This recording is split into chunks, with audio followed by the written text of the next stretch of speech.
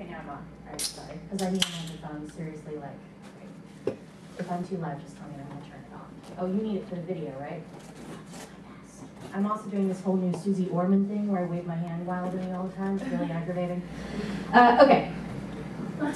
So I call this sitemap to, sitemap to success, and I talked about this in Chicago recently, and everyone thought it was really brilliant, and it's totally not. But it is interesting for developers, and here's why. How websites are born. So the world of web development divides out into two camps. You're either a web designer or a web developer generally, right? And you guys all consider yourselves serious hackers and blah, blah, blah. But the reality is that there's a chasm in between those two fields. You know, nobody's a webmaster anymore, that's at least a good thing. So how web developers think, they think about functionality. Everything is very technical. You're just gonna wave me in a direction and that's fine and I'll try to pay attention. No, you're good. Oh, good, okay, thumbs up.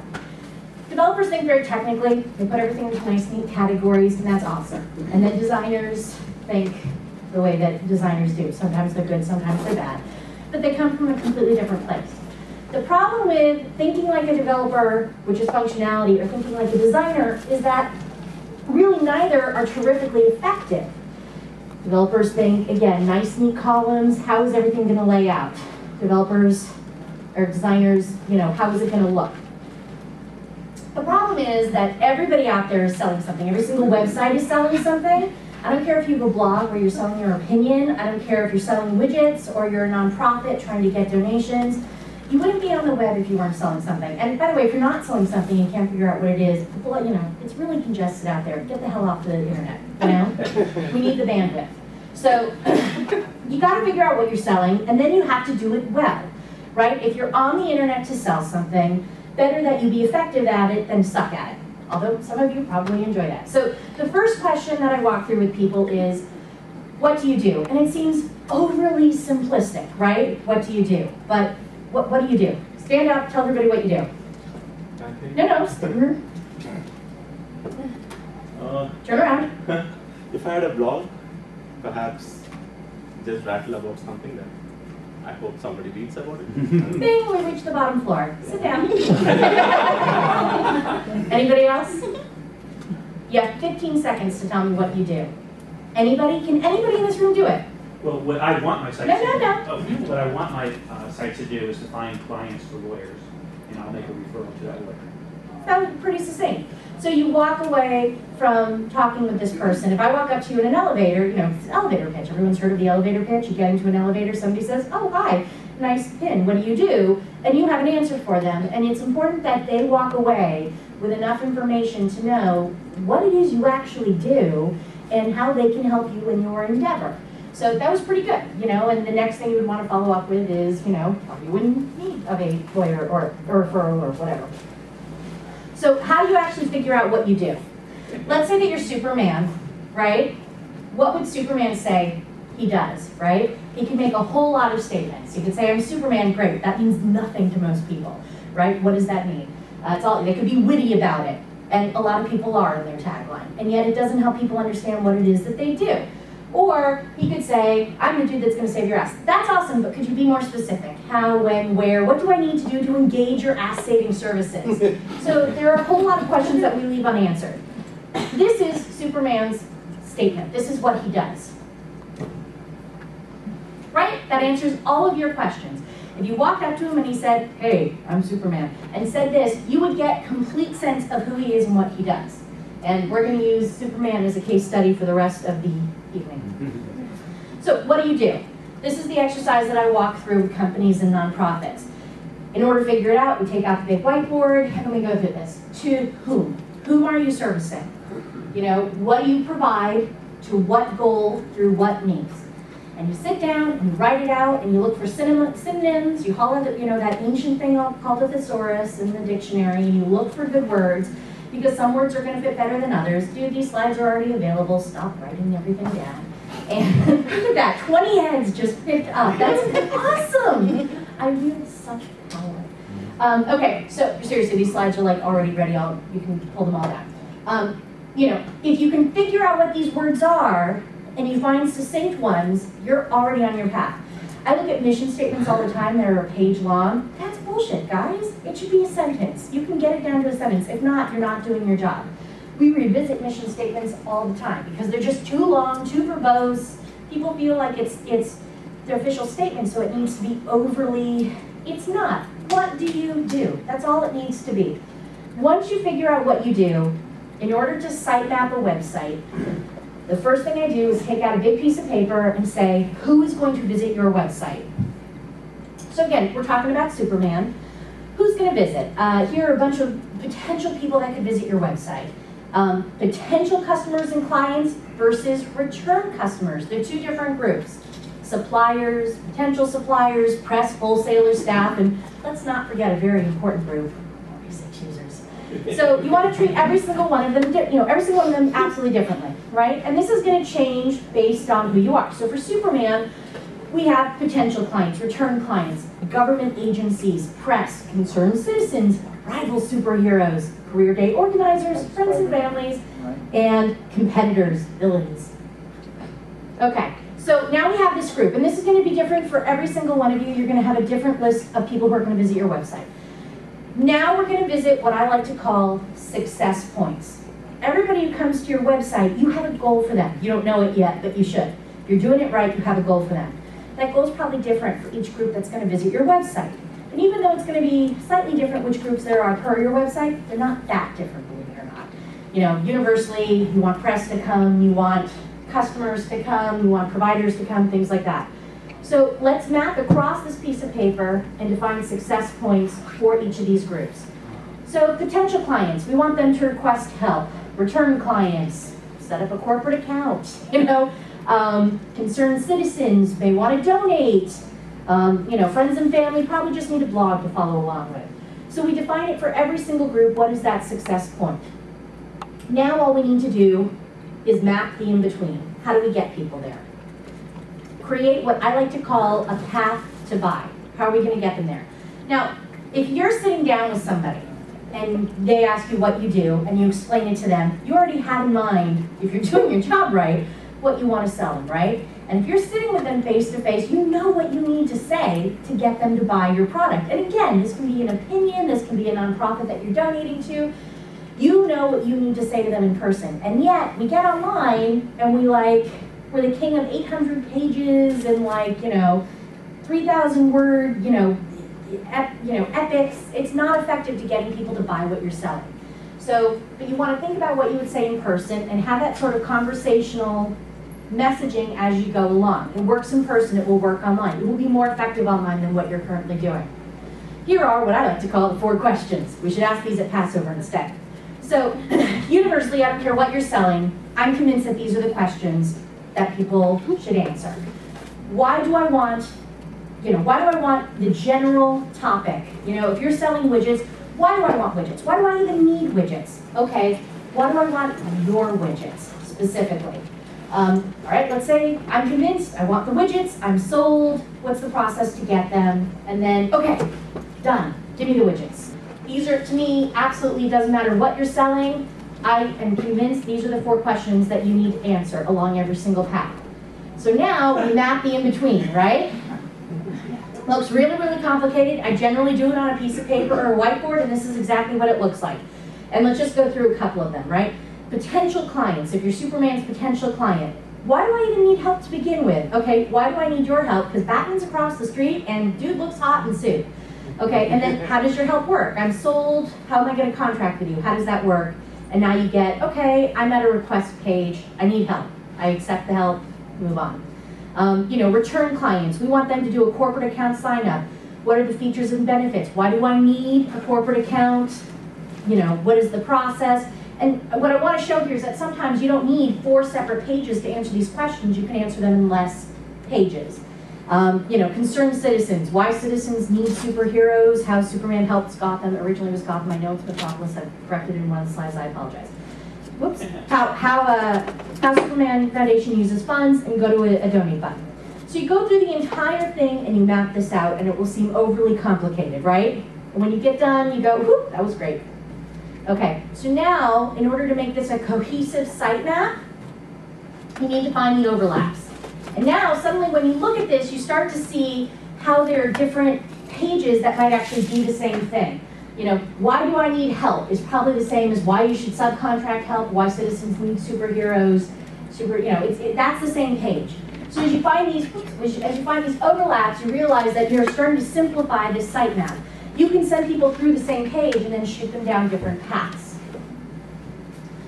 And when you get it really simplified, this is what it looks like.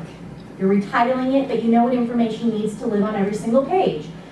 So when we talk about menus, um, the menu options that you generally see are what? About, um, services. They're Our not, team. pardon me? Our team. Our, I love our team. Oh, and my favorite, testimonials. Whatever. Anyway, so, And then, and then contact.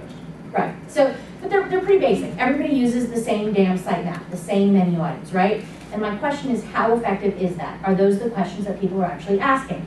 And it comes down to this question. In every website that you create, you need to ask yourself, am I presenting information the way that I want to give it, or am I presenting information the way that people want to receive it? There is a massive distinction between the two things. And that distinction is what separates web marketers from designers and developers. It's the chasm in the middle. So if you start thinking about websites this way, you're going to start to find that they become more effective. So when you get, Well, so, so wouldn't your approach then argue for, for the navigation at the top be based on the type of users? So there's four types of users. Like, let's assume you've got customers, right, you've got suppliers, you've got, um. not potential employees. necessarily. I'm going to show you how. Right. Because I think you can address all those people in a homepage with a call out in various ways. I'm going to show you some examples too. But I do think that the menu addresses everybody, and people don't inherently know I'm a potential customer. You know, again, because the first question is, why should I give a crap about widgets?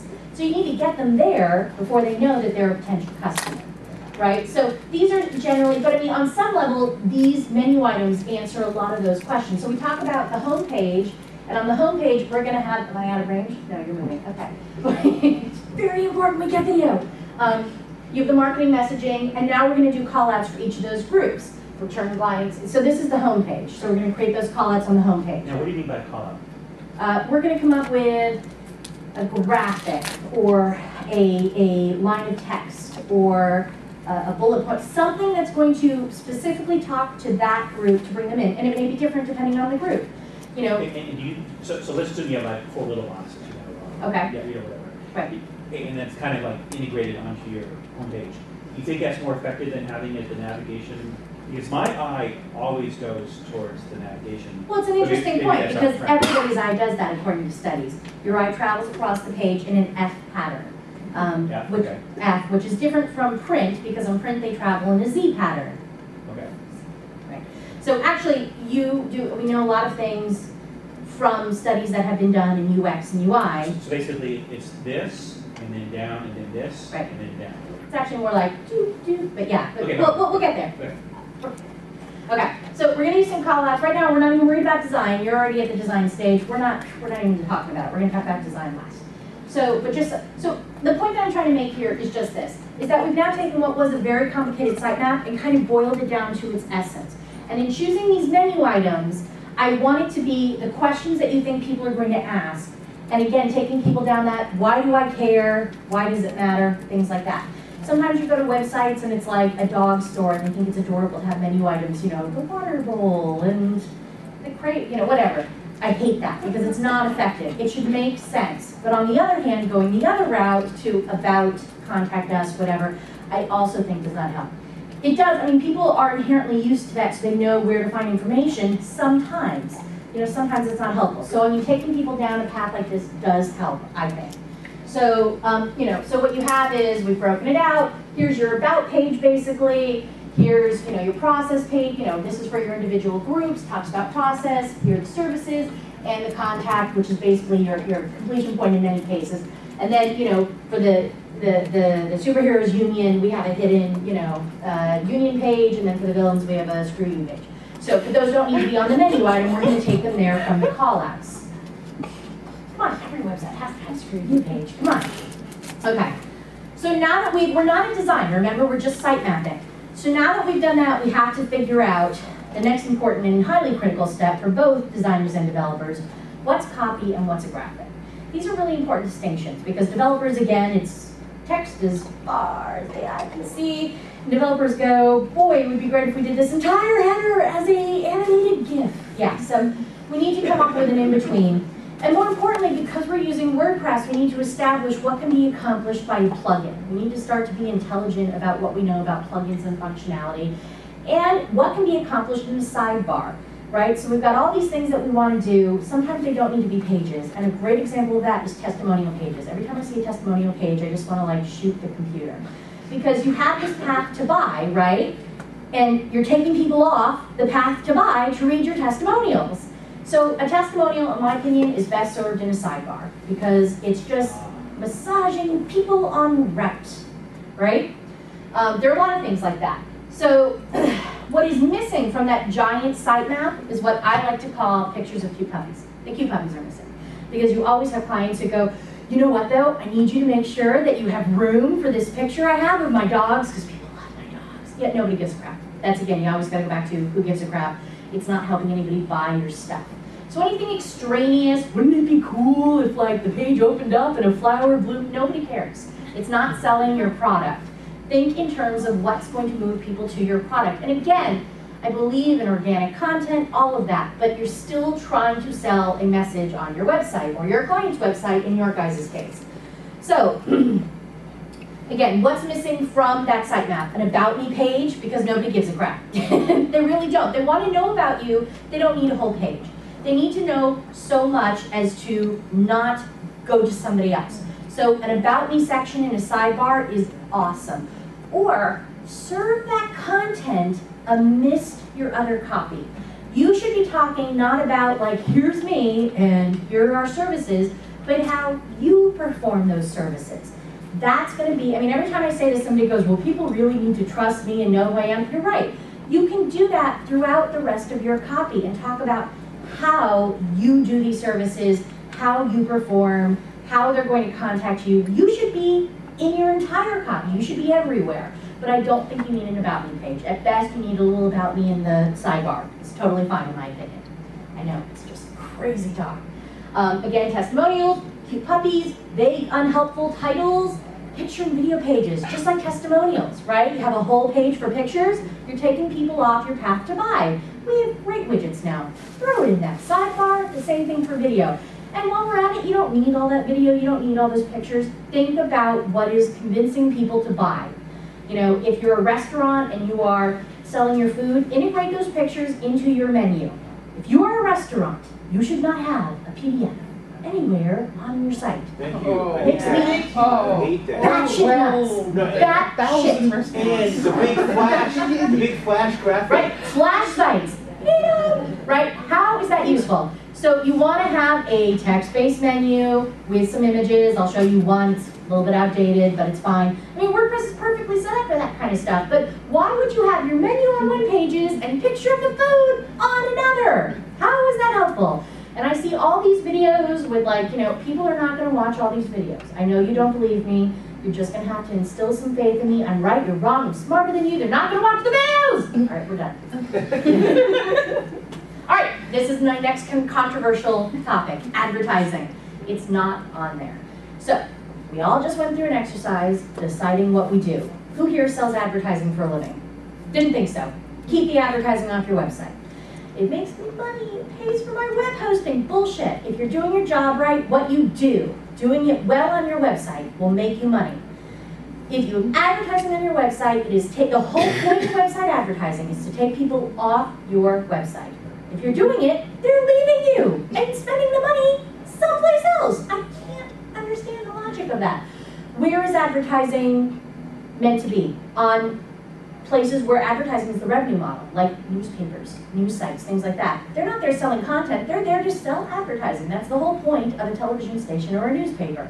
It's fine there, but like, I talk to nonprofits and they're like, well, but the advertising underwrites the website. I'm like, your entire job is to get money from people to underwrite your nonprofit. And you're sending them someplace else for 20 bucks a month. I mean, it just doesn't make sense. So I'm a firm believer of decide what you're doing and kick the advertising off. I know, controversial. Um, so roadblocks. So a roadblock is You must fill out this form in order to see my pricing. Right. Oh, Oh, yes.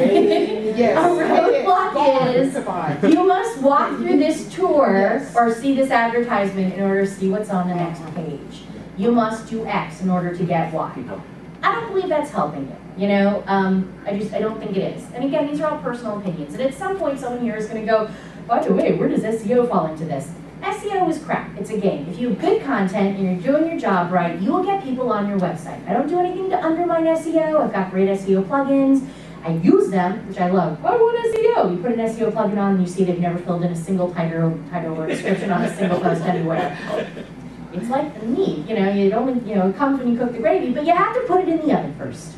Yes. So it's not necessarily a roadblock in terms of someone. This is my favorite question, because there's always somebody who's like, all right, but let me just explain. Go ahead. No, I was explaining that right now I've got the contact form. Right? Is there a better way to have someone not have to use that? Because I'd like to be able to have them just be able, like, I see the sites that have like contact us with live person. Right? That's cool when I need it, and I'm like, that's cool, I need to talk to someone. Right. And you end up talking to Rashish somewhere. Yeah. But still, fun. Those operators are. You're like, I could have totally been on hold through this entire time. so that's what I need to do, I need to have like Rashish? in India, No, you can see the Google Voice widget on your page that's when you Right. click on the call. There are a variety of options, but, and, and, but we should, okay, that's a really good point. So there are a variety of options. One I like is, you know, you can have a, a Twitter widget there, so it Twitters you, because my DMs find me anywhere. You can have, uh, God, there's a company out in California that have some- I does it. okay, My pet peeve is no phone. It just pisses me off. Right, I, I send an email. but why, but who cares? Why does it bother you? Well, because, Businesses are there to service you. well, the thing is, okay, I stumbled across their site. For some reason, Right. I, I got there, God knows how, right? Okay, and so I'm, I'm starting out skeptical, I become less skeptical. I finally crossed that line. Okay, I'm gonna actually, you know, extend myself and, and reach out. And if I fill in a form, I'm gonna get something back, you know, eight- eighteen years later. Right. I'm gonna be dead by then, right? With a, with a phone call, I got a chance of actually getting the person on the How phone. bad do you need the widget? I mean, most people. No, you're right, Yeah. but it's, it's an excellent point. I mean, I do think you need to have the phone number. I think your contact information should be on every single page. It's not one of these like hide it in a page thing. Every single page. And it needs to be text and not an image. You people don't need to hear that. You know that already. But like, I love it when like the number rotates around a telephone in Flash because that's gonna make people, no, it's. So, all right, so yes, you want the phone number, but you make a good point. I like live chat. I think it, you know, when it, when you're, when you're on it, I mean, you know, a lot of what I do with companies is talk about process. I can build it. Are you gonna sustain it? You know, are you gonna have somebody sitting at the computer to answer live? I mean, but Google Voice, it, Skype, Google Voice, and there are a million ways to do it. There's a plugin from a place out in California that I can't remember the name of, but I'll try to find it. I'm lying right now, but whatever. Um, there are a number of places that do stuff like that, that are answering, because they forward calls. So. Why can't you send yourself on? Feel, free- you should. right now. I do. I mean, if I'm being honest, I have myself, I run a very limited, I mean, I barely have a website, so it's fine for me. But if, if, do you, do you have children or a wife? Would you like to keep them? Okay. All right, just saying. So, you know, it- it's a thought. I Yes. was You gonna say- turn off. There's a restaurant in the theater district that has the coolest flash animation I've ever seen.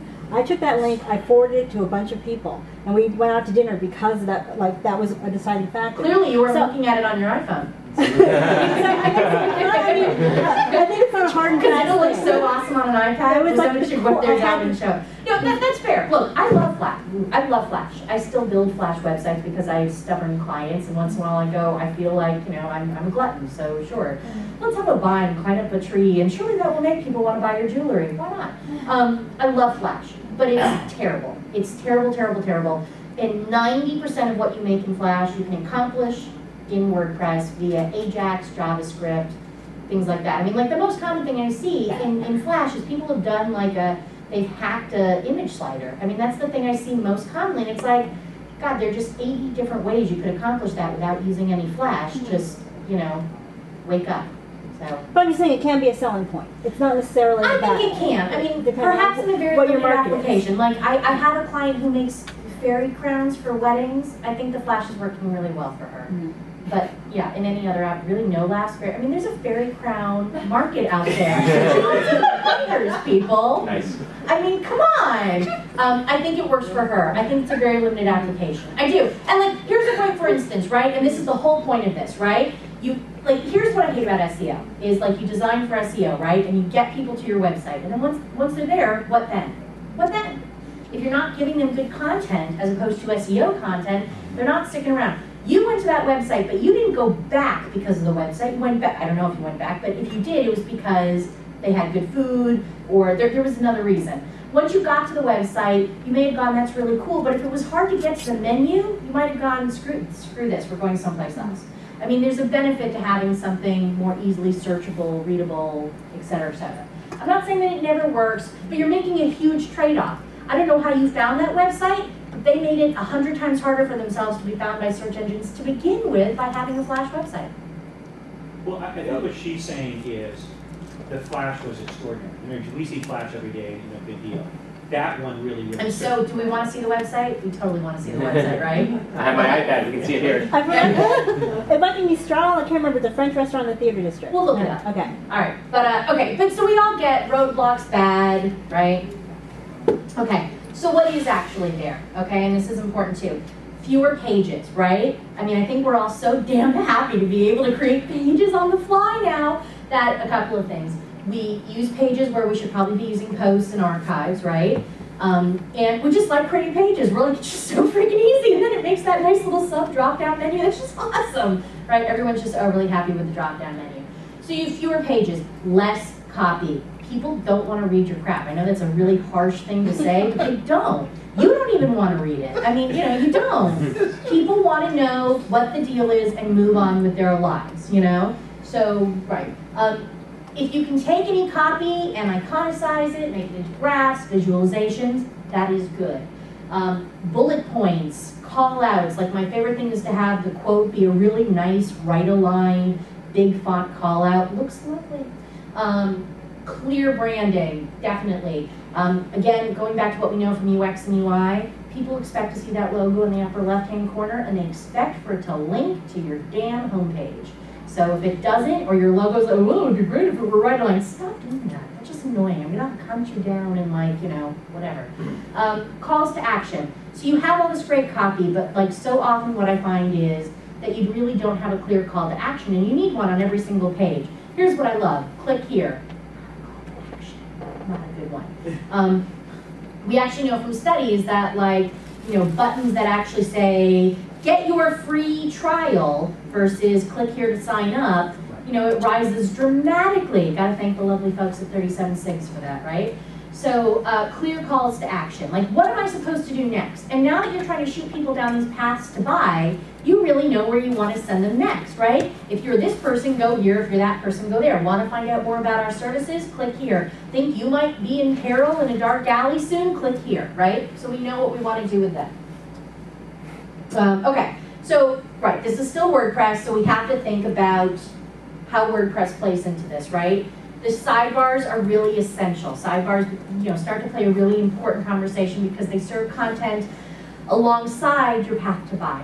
Videos, pictures, testimonials about me, we talked about all of that. Um, your footers as well. Your footers are, our footers are a great way to store information. I love them for testimonials, for video, I mean, they're great. Again, it's just another dynamic sidebar, right? Um, you want to be sure that you're using So- your title, what? Could you differentiate the the header or the nav, the nav bar, the top from the footer, what should be, which one should be on top, which one should be on bottom? Well, the footer would go at the bottom. No, no, I mean, no, what, what, um, but actually, I want to change it so my footer's at the top, just to confuse you. Um, no, what should be in the footer, what should be in the, Header? yeah. Okay, I like images in the header, and no, I'm kidding. Um, so the header really, I mean, uh, I think people overthink the header thing. I think it's your logo, and it's a really strong thesis statement, who I am. As far as I'm concerned, you don't need anything else, Okay. honestly. So, you know, I, I, a nice picture, header, fine, but like these things where you see the headers, they take up half the page, everything above the fold is gone. I love web designers, really. Um, crap, get rid of it. I mean, you- that's valuable space, and it's not convincing anybody to buy anything, right? It's not sending them anywhere. So, uh, really, logo, really strong tagline, thesis statement, something like that. To me, that works really well. Um, and you know, and, and again, your title and description, use those for your really strong, here's what I actually do. And then, you know, your title is your blog, you know all of that, right? Um, whoops, So in the footer? in the footer, uh, I think it depends. I mean, there, I mean, the footer is one of those areas where it falls to SEO people on a large degree. People reiterate their their, their pages and their, their categories, and like that's what I mean. Where I, I don't I don't like undermine SEO. I'm just not going out of my way for it. So that's the kind of stuff that could go there. Um, you know, I think a very short contact form would be lovely in a footer right? Or, you know, here are the various ways to contact me. Like, what I like about footers is you have your pages, right? And that's one way people get to the information. A lot of times I find myself on pages going, God, I could have called this something else entirely, right? So maybe I reiterate all that in the footer, but I call them the other, you know, again, it's a reiteration. A fact, an FAQ, could be called an FAQ, people know what it is, but you could call it answers, or you could, why we work the way we do. So, I mean, you could call it a million different things, and it's going to appeal to different people. So you can use that to reiterate that in your, in your footer. Um, okay, author display. Um, newer frameworks, things like Genesis 2010, they have author display on all the posts. Love it! Because it also gives you the opportunity to input some information from their profile. So as opposed to saying, I love long walks on the beach, I occasionally try to knit, and I have a new nephew named Morris. Nobody gives a shit. What they care about is, you know, your, your basic, here's what I do, and here's why you want to read my stuff and your gravatar is sitting right there, and it goes to the bottom of all of your posts. It's what I love about things like Genesis in 2010, and that's relatively new. Um, dynamic content gallery, we just talked about Flash, everyone wants a slider, great, why wouldn't you use DCG? I mean, it just makes so much more sense. It's a jQuery Ajax slider, it pulls from all your posts, it's incredibly functional. If you already use featured content slider, this is like 800 times better, so use that instead. Love Gravity Forms because unlike other forms plugins, this actually gives you multiple options on display and formatting, and it's just better. Gravity? Gravity Forms, it's it's a it's a premium form plugin. It's like 45 bucks, but uh, it, it like creates forms incredibly easily. It's like drag and drop. It's it's So it's a specific plugin for WordPress? yes, it's a Okay. work. It's a plugin for WordPress. It just makes forms, kick ass forms. Okay. You can do file upload, you can do drop downs, you can do 800 different forms in eight minutes. It's great. And then here's my favorite, and I've never seen anybody talk about this quotations plugin, and it's actually called uh, Quotes Collection is the name of the plugin. And instead of having a testimonials page, you use this for your testimonials, and it's Ajax. So it, I'm going to show you examples, but it just refreshes. Instead of refreshing the page, you can actually scroll through your testimonials without ever leaving the page. So it's great for a sidebar. Quotes collection? Quotes collection. Okay, so we've done all of this work, right? And this is a whole process. We haven't designed a bloody thing right, you know, but we've done all this work. Now we have the website up. And what good are these passed to buy unless we actually measure them, right? What can we use to measure analytics on a website? Google Analytics? Ooh, you've obviously done this before. What's the problem with Google Analytics? Anyone? Anyone? There are no tickets involved anymore. What's the problem with Google Analytics? It was designed by monkeys. Was that what you were going to say? Because that was right. Yes. Okay. I don't know what they're smoking in the UX department over at the Goog, but like, it's good shit. Because this is an impossible to understand website, which is why nobody uses analytics effectively. I am convinced. And I've been to Google, and by the way, there was no weird aroma in the air, but there is a back room there where they are smoking this stuff, I'm telling you. Um, because like AdWords is very similar, right? It's obviously designed by the same cokehead. So, okay. Sorry. All right, so I'm going to walk you through how to set up funnels and goals in Google Analytics, which you all have seen and gone, boy, it would be great if I spent, you know, like six or seven hours one day trying to set that up, but I have a life to lead, right? Okay, so you set up your website. There's a 400 page book on how to use Google Analytics. was it written by Google? Because I wouldn't buy it. Um, alright. Uh, anyway, so you set up your website in Google Analytics. This is the dev track. I'm not showing any of you how to do that because if you don't know, then get out. Um, okay, so in addition, you know, you have uh, when you go to your profile settings for that particular website, you see this goals. It's very, you know, that it's goals. We're going to go for goals. Um, you see right here, add goal. I mean, it's actually not that complicated, it's just hard to find everything, right? Okay, so now I'm going to call this goal government agencies. I want to track government agencies along their path. Is it an active goal? No, set it up and then don't use it. Uh, goal position, you know, set one goal, one fine. Um, the goal type, URL destination. That's the type of goal we're setting because you could actually make it pages, right? But we're not doing that. We're taking them on a path. We want to do the path. Um, you know, match type, do a head match. Uh, uh, goal URL, in this case, is going to be the contact page. So that's the URL that we're headed for, contact. Uh, goal value really doesn't make like a difference. Goal funnel, money shot people, here it is. These are the URLs down here that you want people to travel along to get to your goal. So, and then you click Save Goal. It's very easy, right? And then it's going to show you all of your goal overview um, when you click into Analytics. Okay, so this is just total common sense, right? You've looked at Google Analytics before. You understand bounce rates, right? Somebody comes to your website, they don't spend any time, they don't get anywhere else, they're bouncing off your website. That page sucks. Go back, do it again. If you take people down the funnel, if you take people down this goal path and they're dropping out somewhere, there's something wrong with that page. So here was an example I gave somebody uh, earlier today. Uh, you have a form for new clients. They should fill out this form before you contact them so you know their medical history. Because now you, you got a roadblock and you got, right, anyway, so. But you look and you notice that people are, are, are going into the form, so your call out on the homepage is working, but they're dropping out on page two of the form. What can we surmise from this information? The form is too long. Form's too long. So you know to go back, revisit it. What if you have three out of four goals where people are at least hitting the goal path, and on the fourth goal, you have like zero penetration. 2% of people are clicking on it. What could we surmise? Your call out is not working.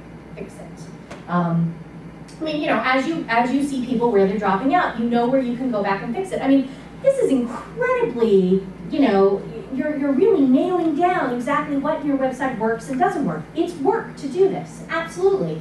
But what you are resulted with is an incredibly effective website. Whether you're running an animal shelter, and I seriously go through this when I do an animal shelter website, to a sushi restaurant, to a nonprofit, to a blog. This could apply to all of them because the goal on all of them is to make somebody buy what you're selling. I'm totally Suze Orman. It's like becoming really bad. Puppies.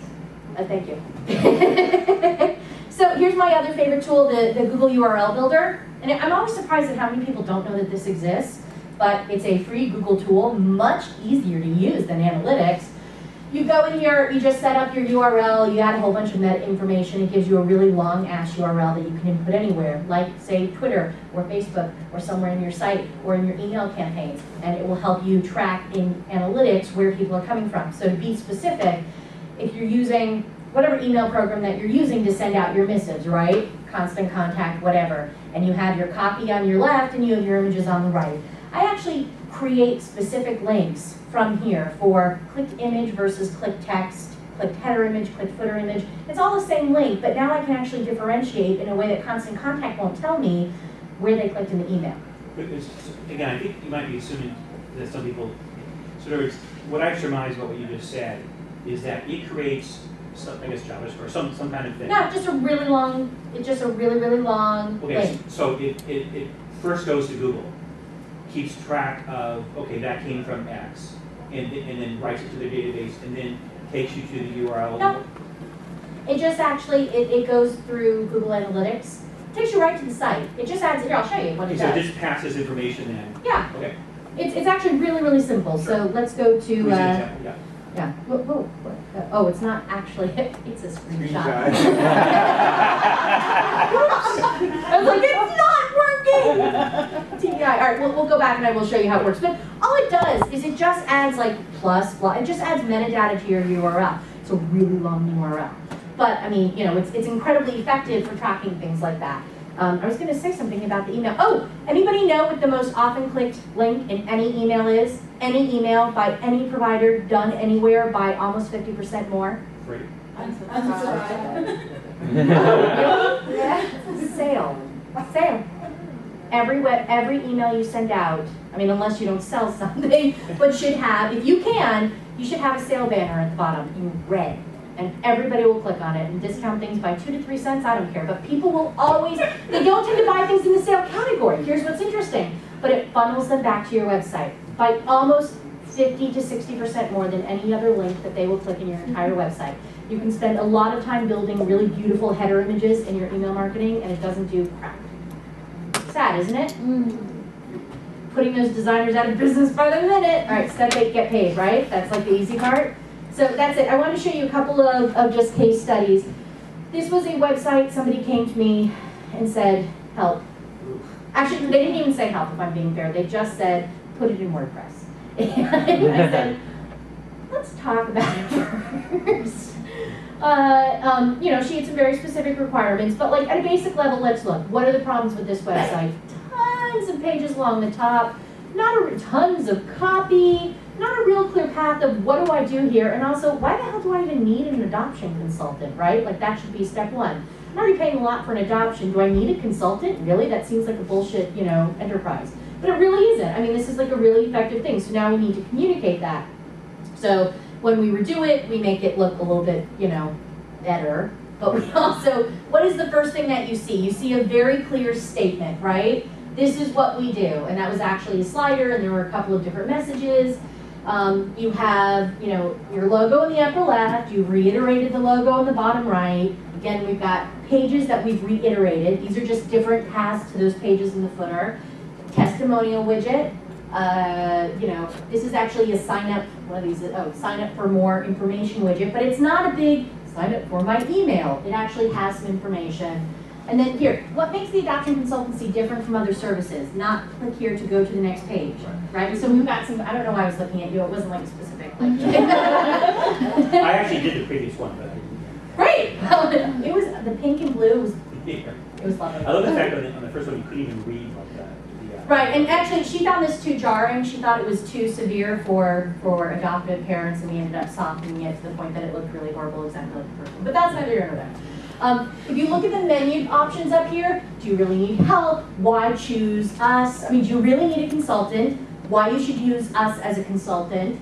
How we work, um, you know, our pricing, and now, you know, contact us to sign up. So, in other words, we don't have separate pricing pages and now buy pages. Right by the pricing, it click here to buy it. We're, we're, we're, we're ready.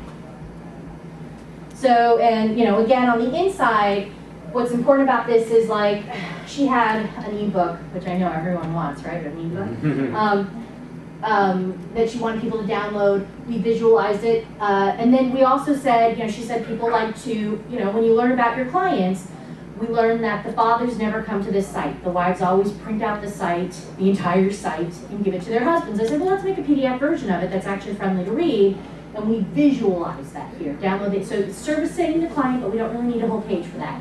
Just along the route, somebody goes, oh yeah, I need my husband or whatever. So here's the video. Learn more about the person who runs it, right? Because we don't need a whole page for that because nobody really gives a rat's ass.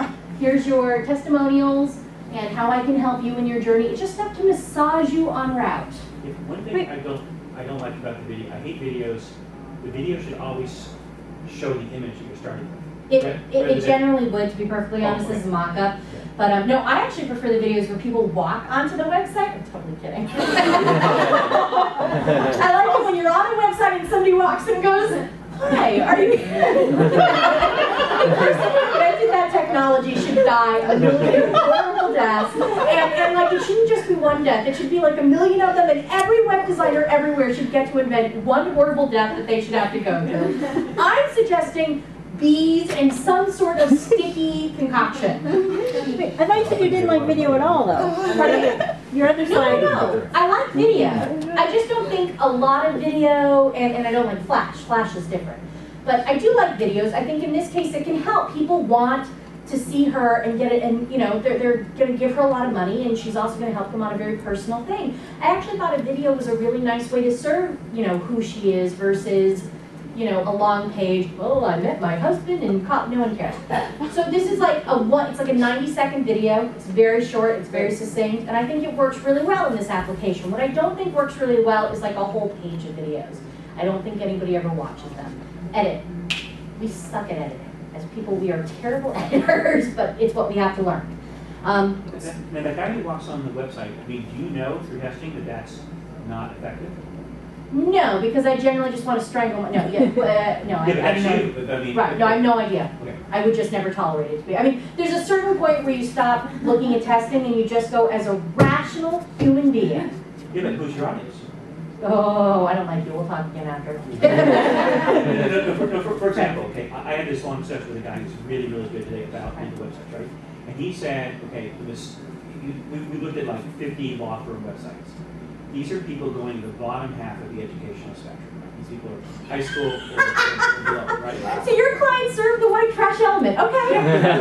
No, we think that those are the people that get in the car crashes, those people that, you know, get bad operations, it's not people that are. No, no, but it's just inherently, that's where. Do you also have like discount coupons? Well, it, it, it's a free representation, it's all. So yes. Do you fix problems?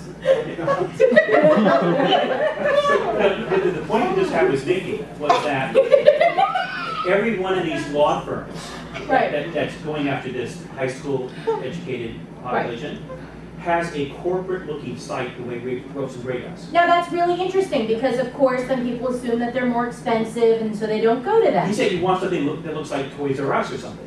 Well, no, I don't Well, want. maybe not Toys R Us, but it was, it shouldn't look like. This Ropes and Gray. conversation isn't condescending at all. No, I disagree. You don't want a Toys R Us looking site, but I think that there is a danger in having your site, your materials, whatever, look too expensive because then people assume that you're spending money on them and thus you must be expensive as well. Toys R Us is a stretch. No, what, what I meant I'm was. just seeing the, what's the giraffe from Toy Story? Us? Looks up the screen and goes, do you need legal representation? The point I was thinking is that the Ropes and Gray site is well designed for a client who's a Gray, which is very educated, you know. But for, for a person who's just been in a car crash, that's not the right approach. They're already seeing stars, now they're gonna see giraffes. I get it, I get it, yeah. Okay, no, uh, um, yeah, I. I mean, you're not, you yourself are not the average demographic of, you know, I for, for most. that is the nicest thing you've said.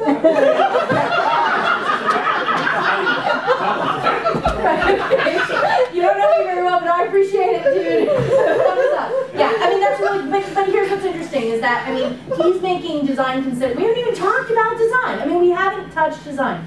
But he's making the same considerations in his site mapping and his design that we are, you know, towards his clients that, that we're. Well, I was just talking about the guy who walks on the thing, that's really effective for certain audiences. Well, Perhaps they hurt their head and they can't read, or for other reasons, certainly. How about you have a giraffe walk across? That's what I said. All right, moving on. Sadly, moving on, really. This is another website for pediatric clinic. Again, what comes across here? Why EDPs? Okay, now find us because you've already been, you know, convinced. Our doctors are going to blah blah blah. Um, clear thesis statement, and now we talk about these callouts, right? In this case, the callout to all the various groups is these, is these boxes, right? Very, you know, they're all different for each one, and as you go through the pages, they change. So we could do some testing. Um, this is another one that's relatively old. What's important about this is that clear, um, clear, clear statement right here. Testimonial widget down there. Here's another one clear, you know, clear statement right up at the top. That's it. So, um, Lucy's my Doberman. You knew that because it says Doberman. Anyways, and this is a joke amongst me and my friends. Anyways, um, so exterior to your questions with the giraffe, which I would love to revisit. Let's let's look at the website of the French restaurant because I'm dying to see that. And um, and we were going to go through the Google URL builder. Okay. Oh, this is actually, I, I just wanted to show you these couple of sites because I thought these were also some good implementations. So on this site, here's the author, about the author, and then this is dynamic content gallery, and it's right in the sidebar. Now, this site used to have, this is a woman on Cape Cod who, she eats something every day that she hunted or ran over or grew or whatever. And she used to have this like wacky calendar in the upper left-hand corner that, you know, you could click on, it was, it was the archive widget, right? And, you know, so if you wanted to see something, you had to click on it. No, nobody ever did it. We had not a single page view, but now she's visualizing them and the comments have gone way up because people can see the food and people click on images of food. We know that. Um, here's another one. This is, this is a, mm. oh, let's look at dinner. Roadkill. Not so much. Okay, here's a text-based menu with the image right there. That would be great. We should have gotten that instead of pizza, right? We had pizza for lunch. That's kind of, yes. Okay, that's literally it. What do you think is the name of the restaurant? I, I don't remember, but Best that's guess? just French Restaurant Theater District, it'll probably come up. And I, I have to say, I assumed it was Flash, it was a couple years ago. I assumed Oh, it it was was Flash, but it could have been, if if you said there's a workaround that's similar to Flash, it could have Theater been. District, Boston, right? Pigalle. That was it. Where is it? Oh, Pig, it's Pigalle, okay. Ready? Oh, flash required. Oh. Whoa. It's pretty good. And then if you go to the menus, it's, it's really cool too. If you come. Where- There are Right. menus. Oh, entree. Entree. Now. well, but at least you know where it is because you can see the surrounding area. You know that you picked the right building. Ooh, nice transition. So that is what we like to call an intro page. This would totally make me go there. See? and there used to be a woman walking. I don't know if it's gone, but there was a really cool. It's going on, on, I'm, wanna go eat. Like, like, I don't wanna. I do want to go over there, not to eat, but I at least want to go over there. All right. Yeah. Do we Uh, have a Those, mobile that version thing, of those rollovers. Well, There- I mean, it's beautiful, but I mean, what is the flower for? I'm dying to know. if I'm walking around the Happy Hall. Oh, I can't hit return. How do I? Okay. There used to be another thing too that's gone, but Oh wait, hold on. Oh, okay, so owner owners, lim menu. Well, I mean, to be fair, at least it's a PDF, and at least this is probably searchable. But yeah, here's what's really sad. You know they're charging you extra in the food to pay for this website, right? yeah, now my computer is dead. So the, the demonstration is coming to an end. Any questions, or just want to yell at me about the advertising thing? I'll, I'll go, no. Wait, really? You have another question? If, if you had a very complex site like Microsoft, would you- No, I mean, like, they, they have a lot of constituencies, a lot of information Right. behind the page. Right. Would it make sense to kind of break that up into ten different sites with ten different domains? it, that would be terribly case specific. Here's my issue with Microsoft. Since it's, if we're going to talk about, about their website, and I know the person that designs the health website for Windows Genuine Advantage, and whenever I see her, I'm like, how have you not thrown yourself off the building yet? Seriously, like, like, I mean, what a miserable freaking job. Um, it's impossible to find anything. Even if you use the help menu and say, here is my error code, you, it's still, the filter on it is Takes terrible. hours to find it. Right, and, and, it- and there's nothing on the homepage that just says, because why do people go to the Microsoft Help site? Because something has borked. So it just should say, as soon as you get there, what's wrong? Like, it should have categories, and it should be a more intuitive filter. That's, if they just had that, that site would be eight hundred times better. Why? Because who's coming to the website? Not like, oh, I wonder if I should work with Microsoft. No, it's people whose sites are borked. So it should, I mean, that's it. That's, that's it. Those, them is the people. So it should be entirely geared towards them and making it easier. If they just did one study, just one survey. Anybody else? I just went to the Pigalle website on my iPhone, of course it's blank. Right. All, all that shows up is like the, the phone number and. I will, however, say this. I appreciate your bravery for stepping up and proposing the flash website to all of us in the dev track. That was brave, lady. You got balls. yeah, I do.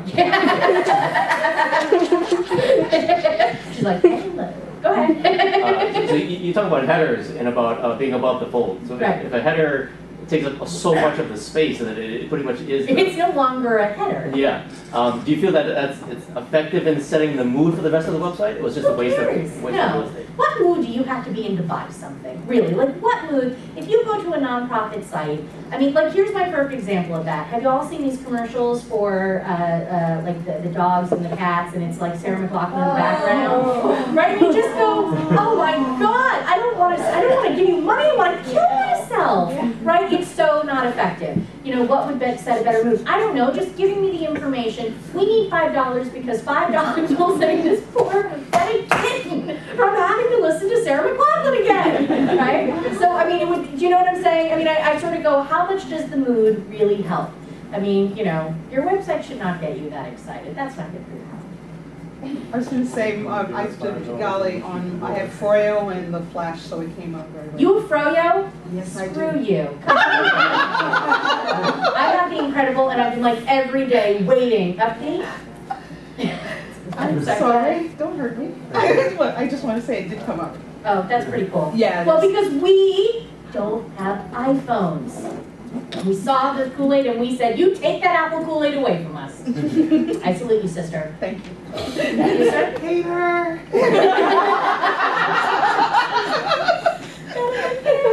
Go ahead. You, I'm sorry, you had a question? Oh, I heard you talking, No. sorry, okay, somebody else. We don't have to raise hands, you can just like, yeah. When, when you have a blog, uh, when you're not selling really a product, you're just selling a paying blog. Well, you're not selling a blog, what is your blog then? Um, it's more of what I blog on is like generally. This is the point. Like when it, the point of starting a blog was keeping track of when instead of using a social website actually Keeping track of your friends? and stuff like that. What I do within my blog, how I do. So it's basically like what you do every day. right. I, What you're selling is, you are selling what it is, I'm interesting enough that you want to stay friends with me. No, seriously, that's because if it's, if the blog stops being interesting, you're gonna see a drop in your stats. But that's what you're selling, so you are in fact selling something. Mm-hmm. So um, the what I usually am stuck with is you know the slider kind of thing. The slider kind of things, Right. like I- the I- dynamic I- content gallery. Uh, is Look how good- scared he is, he is thinks I'm gonna make fun of him. Uh-huh, you're good. so is it a good idea or is it like because most of the blogs don't have any pictures, it's just text and it's just short text. Well, clearly, I think that you should break text up with pictures, with call-outs, with bolder text, with bullet points, with things to break up the eye line. And if what you're selling is, I'm interesting, I gotta say, good-looking kid, put some pictures on there. I just see you on a motor scooter too. And it should be flash, and it should go across the header. And there should be a herd of giraffes in the road. Anyway, go ahead, sir. The, um, personalized landing pages, I see like companies that are popping up now, it's like, hey, for every customer it's different. follow Right, personalized through. landing pages. And I kind of have this like now, and oh, geez, I gotta design stuff, would, those worth to go? No, because if you do, if you follow my prescription, when they get to your homepage, they're gonna see that. I mean, people are not morons. They land on your page and it goes, hi, Bill Jones, thanks for coming to my website. That freaks the hell out of me. I'm like, Yeah. what, the, in fact, actually, we've done studies, uh, you know, if you, if you look into studies that people have done about semantic data, which is kind of what you're talking about, you go to a landing page and it knows your name and where you are. We actually can perfect that semantic data so much that people tend to be turned off by it because they assume you're spying on them, which on some level you kind of are. So if you talk to semantic web companies, some of them will tell you that they actually turn that filter down just not to scare the crap out of people. So here's my thought on, on, on- I don't think you need them. I think it's stupid. People had landing pages for a variety of reasons in the past. One of the reasons was you put a coupon in the mail that says, go to myawesomewidgets.com slash mailer. And the way, so that they could measure the effectiveness of that bounce back coupon, because the only people going to the mailer were the people from that, right. Because of the way that analytics work now, you don't necessarily need that anymore. You know, if you're putting something in the newspaper, okay, but how many people here are really doing newspaper advertising or magazine advertising or anything other than online advertising? So I don't think it's effective. And if you follow this prescription on the blank screen, um, you have callouts on your homepage, so that's gonna funnel them from there. If anything, I would say you take them right to, if you know what group they are, skip the homepage and take them right to page two on their particular goal. Look at like, wow. Could you tell us more about what you do in your consulting practice? I tell people what they do for a living. no, what, um, uh, it's actually, uh, here's the sad thing. I have like barely a website. I have no business cards, and I'm really bad at my elevator pitch. And I even hired a writer to work on it at some point. Um, basically, I, I work in tech marketing, and I help companies figure out how to do stuff better. So sometimes they hire me to do a website, and it's about figuring, it's helping them figure out um, internal processes, external processes, how to make their website work better for them. But sometimes it's so much bigger than a website. It's you don't even know what you're selling. You don't even know what your mission statement is. You know, you need to redo your entire lead dev department, or you know, people love it when I walk into a building. Really, um, you know, uh, stuff like that. You know, do, do they want to be involved in social media? Believe it or not, I don't believe everyone should be in social media. If you can't answer these two questions about a Facebook fan page, you and your clients need to be out of Facebook. If you have a fan page, what is the benefit to people becoming a fan or liking your fan page? What's the benefit to them? Mm-hmm. If people like your fan page, what is the benefit to your company? And if you can't give me a really good answer for both of those, Facebook is a waste of time. As is Twitter and as is everything else. And I have plenty of companies, I'm visiting one on Wednesday in Vermont. We want to be on Facebook. Dude, you sell wholesale plaques. You don't need to be on Facebook. Right? It's, it's not, it's not, it's not helping you. You're, you're good. It's, it's cool. Skip the tweet. You're good. So, I mean, yeah, it's not for everybody, and I think that's like the problem. Like, we actually have all these studies now that show that there's really low ROI for companies on social media, and I don't think that's necessarily true. I think the problem is that the numbers are skewed because a year ago everyone said, holy shit, I'm not on Facebook! and they hired social media experts who said, oh, I can FBML your website, you know, your, your, your Facebook page within an inch of its life, and we'll run a promotion, and nobody cares. And they didn't really think about the plan and the strategy. So at base, I'm a strategist. I handle strategy and deployment, but mostly I just make snarky comments and tell people what they're doing wrong. And I come from a long line of Jewish New York women, and that has trained me and brought me to this point. And it- you focus- Really, you have a follow-up to that? I would follow up very, very- Clearly! And you focus on technology companies? No. I Um, thought you I, said tech. well, I'm- I, I, it's tech marketing, it's websites. it's- Oh, I, I see. Right, Okay. but I I actually work with a range. I usually, I like small businesses and really big nonprofits. I have to say about the Facebook thing, that's interesting because I, my thing against Facebook is I personally think it's, It's a really, annoying. it's a tacky interface and I don't, wouldn't want my Oh, yeah, business that's what I hate about associated with that, Um, with that. To me, it's, it's, I mean, I don't, like, I see like the Versace website, to me, it's so tacky looking. I'm like, how can they be associated Well, with, it's on, Facebook? I mean, Aim high. like, Um, no, I mean, I, I'm not the look, only I think feels that Facebook way. serves a but- purpose. And it serves a good purpose. It may start, it may be outdating itself, and it's also becoming like, like the evil, I mean, like, really, like, becoming like the Borg, right? But, um, yeah, I mean, I, I just, I mean, I have clients who, who, you know, they're like, oh no, we're gonna ask everyone to upload pictures holding our product on the Facebook page, and it's like, that's fine. Now you're taking time out of your schedule. I can't even get you to answer my phone calls, but now you have time for Facebook, and to, so you people are uploading pictures of your products. So what? I mean, I've seen some great integrations on Facebook. Probably my favorite is on the Ben and Jerry's website. You can like an individual flavor. It sends a picture of that flavor to your fan page and says, I'm a fan of, in my case, coffee, coffee, buzz, buzz, buzz, because there is no other flavor that's worth even trying. And then everybody looks at it and goes, oh my God, I wonder if my flavor is on Ben and Jerry's. Could they have been so foresightful? Of course they have. So you go and you do the same thing. And meanwhile, everybody's visiting the Ben and Jerry's site and they're thinking about Ben and Jerry's and they're all going out that night. And as a nation, we all gain 10 cholesterol points. So, I mean, I've seen that. That's a great integration. I mean, I think what is really powerful about Facebook that's totally underutilized and utilized in the wrong way is uh, the new, um, the, new uh, Open Graph. So that's this new technology. When they switch, I mean, it kind of got minimized in the whole talk about when we switched from fan pages to liking things. Part of that integration was something called Open Graph. And what Open Graph allowed you to do was to treat every single item on the web as an individual object that you can like, and it will auto-magically, auto-magically form a fan page on Facebook for that product, not you, for that product. And you can embed all kinds of incredible information right on your page, your website, not your Facebook page. It says, make this person, when this page is formed, make this person the administrator, show this image. So, I mean, basically, it took away the need for Facebook apps, which were impossible. I mean, you know, you had to pay somebody a lot of money to do a Facebook app, and now it's like 800 times easier. And WordPress has Facebook plugins that utilize Open Graph. Any other questions? Can you talk about how you deal with those iterative websites whereby you're monitoring people's metrics and making continuous updates, just from like a client service perspective? How do you, Wait, how do you, wait, say it one more time? like, how do you structure your client engagement so that you keep watching their metrics and making Oh, okay. iterative changes? I don't, I just keep the Google, Anal- I mean, I, I get permission, so I have them own Google Analytics, and then they just authorize my Google account on their analytics account, so that when I log into Google Analytics, I see the whole shebang. I see all of it. And then I, I watch it. I mean, I have, on my phone, I have it coming via RSS stream. I mean, I'm, I'm watching 800 things all the time. I've got, what do I have? I've got in my reader, I have RSS streams of, of every keyword I should be watching on Twitter and Facebook.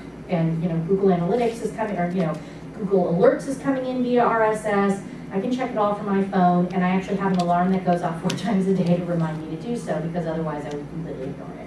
So, I mean, I, I, I mean, if, if that's your job to watch, that's how I do it. I guess it's more just like from a client, um, relationship perspective, how do you deal with like, oh, this page I made for you isn't working well, like now I'm just pay me honest. to make a new one? People don't hire me because I'm nice, I'm just honest. Mm. Clearly. but I am fun to sit next to, I'm just saying. Um, no, seriously, I mean, I, I think that's really, well, let me put it this way. People hire people for various different reasons, but if they're coming to me, it's generally they accept who I, I mean, you know, that's, that's the joy of a freelancer, Yeah. you know, of a certain age. This, here's the package. it is what it is, what it is. If you want honesty, that's what you'll get, you know? So, I mean, I think it's very, I think clients love it when they hear, look, I did something for you, and it's not working, and I'm gonna fix it, you know? That's completely legitimate. And how do you know, I mean, uh, how do you know if it's gonna work until you test it? There's just no way to know. And I'm very upfront with clients, like, this is the cost of the website. And if you intend to test it, here's ongoing, you know, retainer, and this is what I'm gonna do for you, and here's why you want it. And they wanna see that result. I mean, frankly, if it were all sunshine and roses, we'd all be out of business real fast, right? They'd be like, well, I clearly don't need you anymore. You built me the best website ever. Right? So, I mean, I, I think, you know, look, our industry, and by that I mean web design, development, whatever the hell you wanna call it, is, is like, I call it, you know, it's an industry full of snake oil salesmen. Raise your hand if you had somebody come to you and go, my last web designer disappeared on me and I can't get a hold of him. I even checked the bomb store and he wasn't there. like, right? Everybody has a story like that. There's no regulated body. There's no certification body. Frankly, I think it sucks. You know, on one hand, it makes people better clients by the time they end up with me, but their trust has been completely deteriorated mm-hmm. because every single person I know has been screwed. Mm-hmm. Usually more than once. The saying I have is 99% uh, of the web designers that are rude and flaky um, and irresponsible give the other 1% of that name. Okay, fair enough. I mean, I'm rude, but I'm effective, so whatever. But yeah, I mean, but it's it's it's true. You know, the point is that, right? I mean, I think that there's a way to present yourself professionally, and you know, people want to hear the truth. I think people want to see ROI. I mean, now, I mean, the whole point of this is that you're now talking about providing ROI on a website, not just a pretty design or great back-end development. And I'm not saying that none of those are important. They're all important. I'm just saying that this is the thing that I feel like 90% of people overlook. You know, like, here, this will be great, this will spin, and we're gonna use this, I saw this palette, and it's gonna be beautiful, and, you know, we're gonna make it do this dynamic database back, and great, and how effective will all that be? So how can I show a client ROI? Because in the end, that's all they give a rat's ass about, and rightly so. Yeah. Can you talk about what testing you do, um, what tools, how much of it is A/B versus multivariate? Uh, I don't think multivariate works. I think you gotta do A/B because frankly, I'm not that intelligent and I need a limited set of variables. So I like A/B testing. And I mean, I think what we know is that like short run testing, very limited, you know, like a week at most, at one tiny little aspect on a page. I change buttons, I change widgets, and then I measure it. And I'm just try to pay attention if there's some external factor. And Mitcho is has this plugin that he's been. Is it out yet? I saw a demo of it. It oh. didn't work oh, Well, when I got home, but but someone else used it. Someone else used it later and said that it worked, and they they tested the effectiveness So Mitcho is different buttons. effectively the smartest man any of us have ever met. And uh, I always get him to, you know, he, he's, he's local and he writes plugins. He wrote the Yet Another Related Posts plugin. And he told me like a month ago that he was working on a secret A-B testing plugin for uh, Google Summer of Code. So clearly it's in the beta stage, but Yeah. Mitcho is about beta testing more than anybody else I know. So it's probably going through a very rich testing process. Mhm. But at some point there will be an A-B testing plugin for WordPress produced by Mitcho, who has a real name but prefers to Yeah. go by that. And it's really easy to set up from the demo he did. If it, well, we would certainly hope so, Yeah. right? Anybody, and so Google Analytics, I think is honestly just fine. I actually had this like whole conversation, right? Because a while You ago. Use that for, uh, uh, A/B testing? Yeah, I use it for everything. Why not? I had this whole internal conversation about three or four months ago when they decided that people could opt out of Google Analytics. And I was like, well, now it's no good because people can opt out, so it's skewed results and like, we're gonna have to find another something, whatever. And actually, Mitcho, of all people, he, we were sitting at a dinner and he goes, Yeah, and like the people in the foil hats are coming after you too. So, I mean, it's really, how many people are opting out of Google Analytics? You know, so it's, it's fine. I'm sure Google made it really easy to do so. Of course. It's only seventeen steps. What? It's only 17. Is somebody else? Yeah. Uh, how important uh, is it, do you think, to have a, a mobile version of, of your site? Well, it depends. Do you ever plan on your site being viewed by a cell phone? If you, Okay. if you have a blog, blog, let's say? I was being totally facetious. Of course, it's important because everyone is going to view your site. I mean, yeah, it's great that, that cell phones now see websites as they should be. That's great, but I mean, it's also ridiculous because, you know, it's not the ideal way to view it on a cell phone. So I like mobile themes. Uh, what do I use? Uh, WP Mobile Pack, I think it's called, um, because, because, because, because, because, because, because it has a switcher at the bottom of the page. So if you go, well, this is stupid, I want to see the flash, you can click it on the bottom and it goes back to the whole page, to like the whole website. And it remembers you so that you never have to do it again. But you could just go to the bottom and go switch back to mobile.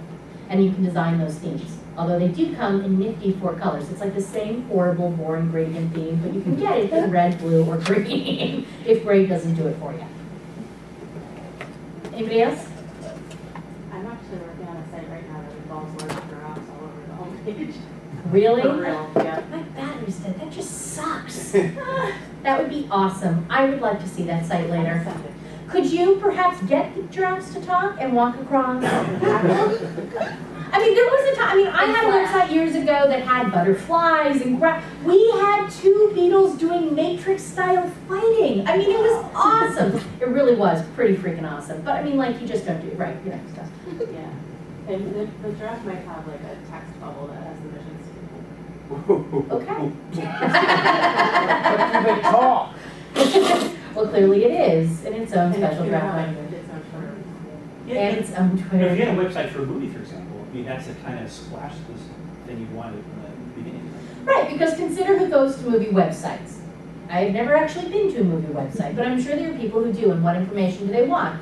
They're teenage girls, I would assume, and, you know, I, I don't know, but like, again, you consider your audience, what do they want to see? There are some people out there who want Flash games. I'm not saying that Muppets.com should get rid of their Flash. Clearly, because I mean, they have this Swedish chef interpreter in Flash. and it's really awesome. But do you know what I mean? Like, it needs to be audience specific. For that audience, that works. Anybody else? Well, it's been a joy and a privilege, and yeah,